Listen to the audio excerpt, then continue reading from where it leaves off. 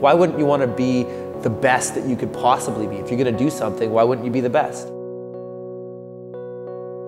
It's not like, oh yeah, I just want to be the world champion. I just want to be the, the, the best fighter in the entire world. That's not my goal. My goal is to be the greatest martial artist that's ever lived. There's more aspects. There's the competitive aspect to martial arts. That's fighting.